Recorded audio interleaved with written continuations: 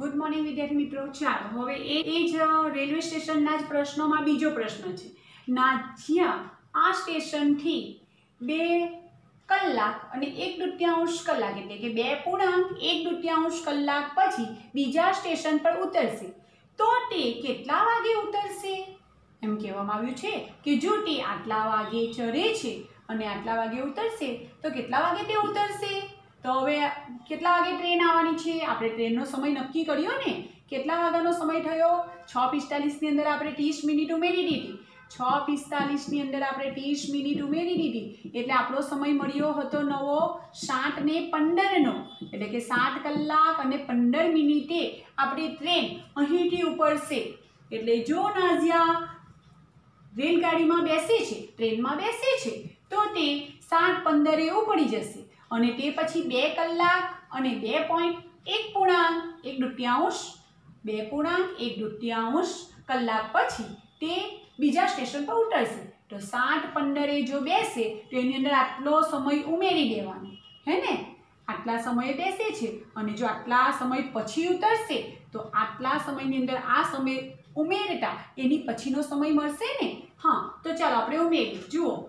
તો નાઝિયાએ જ્યારે ઉતરશે, નાઝિયાનો ઉતરવાનો સમય. સમય આપણે જોવો હોય તો હાલમાં બેસેલો સમય. કેટલા વાગે બેસે છે? સાત પંદરે બેસે છે. અને બે પૂર્ણાંક એક દૃત્યાંશ. પછી ઉતરશે પછી ઉતરશે. એટલે આટલો કલાક ટ્રેનમાં બેસવાની છે. આટલા વાગે બેસે છે કે આટલા વાગ્યા સુધી બેસે છે. અને પછી તૂટી જશે. તો આટલા કલાકની અંદર આટલા કલાકો ઉમેરાશે બરાબર ને?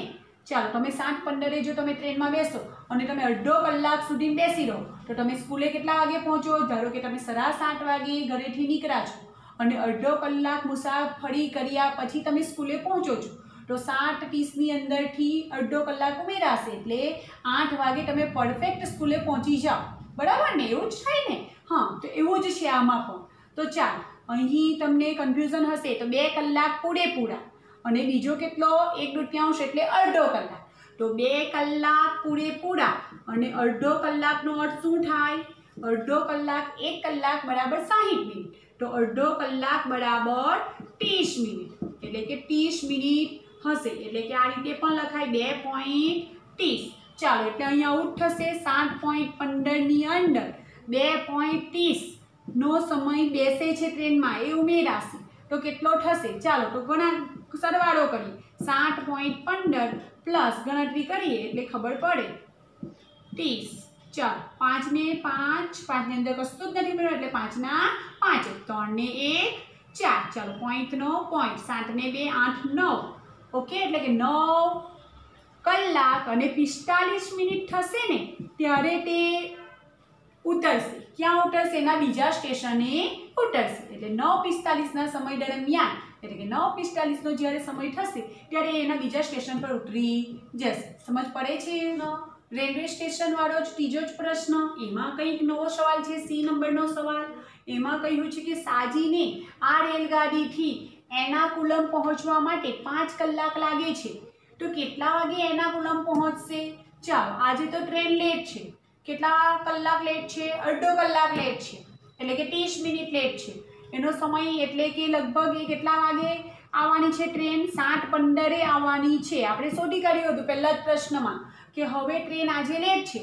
એટલે આજનો ટ્રેનનો સમય કેટલો હતો? સાત પંદરનો. જો સાજી સાત પંદરે ટ્રેનમાં બેસે છે, તો હવે એ પાંચ કલાક પછી કેટલા વાગે એના કુલમ પહોંચશે? એટલે કેટલા વાગે એ એના કુલમના સ્ટેશન પર ઉતરશે કે પહોંચી જશે? ચાલો એ જાણવા માટે આપણે શું કરવું પડે?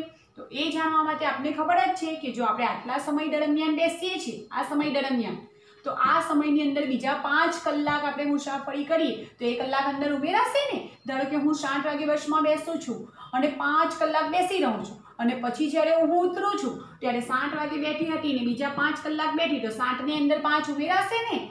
બરાબર ને? એટલે સાઠને પાંચ બાર. એટલે કે હું બાર વાગે ટ્રેનમાંથી ઉતરીશ. એવું જ થશે ને? તો આમાં પણ એવું જ થશે. ચાલો, તો સાજી જ્યારે, સાજી નામ છે.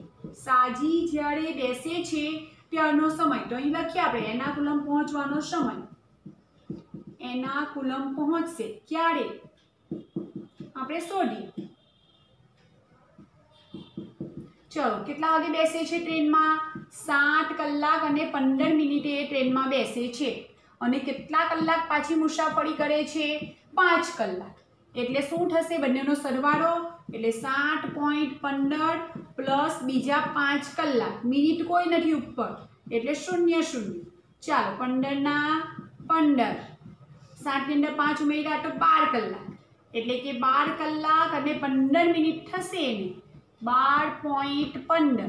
એટલે અહીં લખો છો, જોજો. બાર કલાક અને પંદર મિનિટ. કેટલી મિનિટ? પંદર મિનિટે. એ ક્યાં પહોંચશે? એના કુલમ.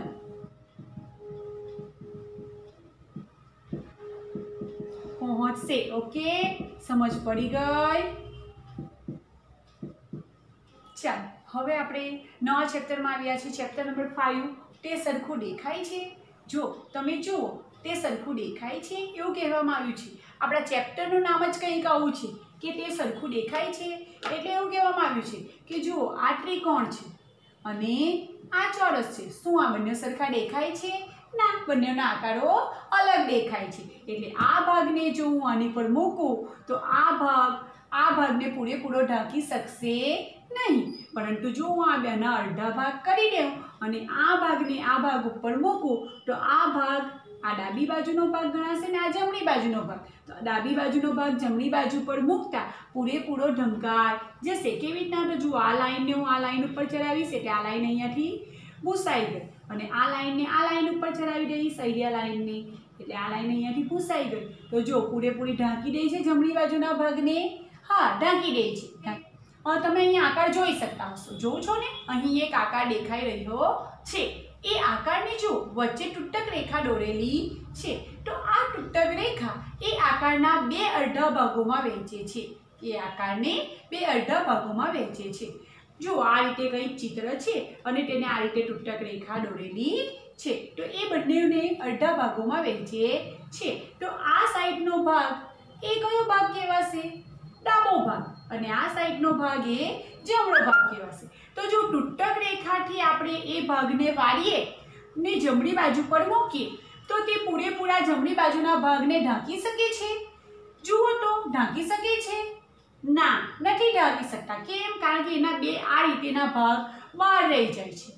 હે ને? અને પૂરેપૂરા પૂર્ણ થતા નથી. એટલે ડાબી બાજુનો ભાગ જો જમણી બાજુ પર મૂકવામાં આવે, એટલે કે આ ડાબો હાથ છે ને એને જમણી હાથ ઉપર મૂકવામાં આવે, તો પૂરેપૂરો ઢંકાતો નથી. તો અડીસામાં પણ આપણે એ રીતે મૂકીશું. દર્પણ. દર્પણ એટલે કે અડીસો. દર્પણ એ શું છે? અડીસો. તો અડીસામાં એ બંને ભાગ બદલાવીશું. તો પૂરેપૂરો આખો ભાગ આવો બનશે નહીં. તમારો અત્યારે જે મોટો આકાર દેખાઈ રહ્યો છે, એના જેવો બનશે નહીં.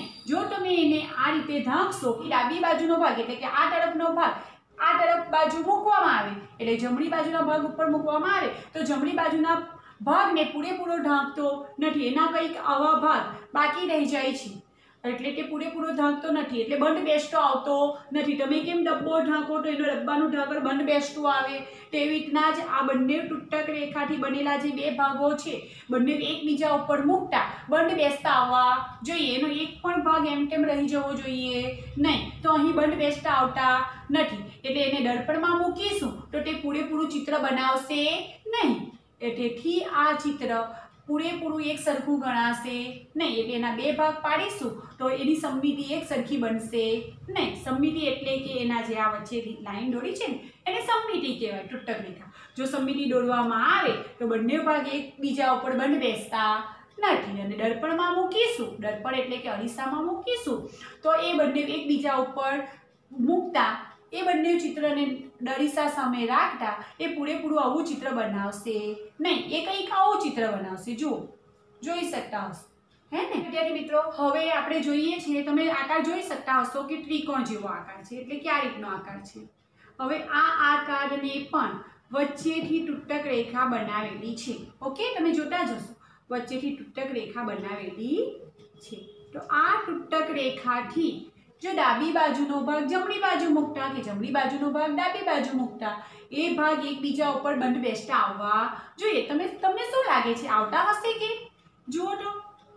આ રીતે આ રીતે મૂકવામાં આવે તો આવી જશે? હા, આવી જશે. તો એ તૂટક રેખા, આ બંને તૂટક રેખા જે છે તેનાથી બનતા બે ભાગો છે. એકબીજા ઉપર મૂકતા, એ બંને ભાગો એકબીજા ઉપર સરસ રીતે ગોઠવાઈ જશે. તેથી આ બંને ભાગોને જો અરીસા સામે રાખવામાં આવે તો પૂરેપૂરો આકાર બની શકે છે. જો તમે જોઈ શકતા હશો કે અત્યારે આપણે એક ભાગને મૂકીને જોઈએ, તો આ રીતે આકાર બનાવે છે, ઓકે? આ રીતે. એનો અડધો ભાગ આ રીતે હશે. જો બીજો ભાગ પણ આ રીતે હવે ઓડિશામાં બતાવવામાં આવે તો પૂરેપૂરો આકાર બનશે ને? તો આ રીતે બનશે.